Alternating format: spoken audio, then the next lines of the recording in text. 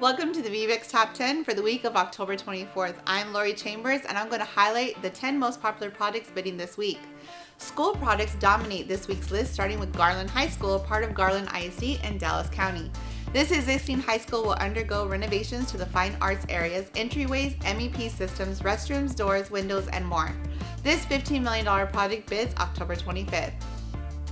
Also bidding the 25th is Port Arthur ISD has awarded Daniels Building and Construction for their new William B. Travis Elementary School, valued at $22 million.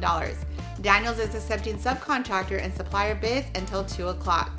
The City of San Antonio hosted a design competition for the new air traffic control tower at Stinson Municipal Airport, partly because visitors will be able to see it while they visit the missions.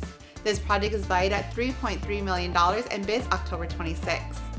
The IDEA Public School System has advertised three requests for qualifications for management firms for various projects in three different cities, all due by October 26 at 11 o'clock.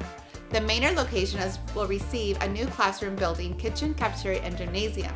The Austin School at Bluff Springs will also receive a new classroom building valued at $6.5 million.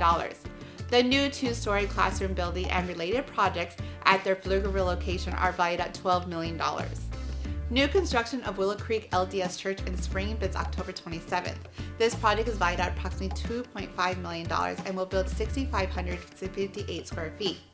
A $32 million public safety training center bids in McKinney October 27th. There are 11 bidding general contractors listed so far, so keep checking our site for contact information and possible addenda. Buford Thompson is awarded construction management firm for the 2016 campus improvements for Highland ISD.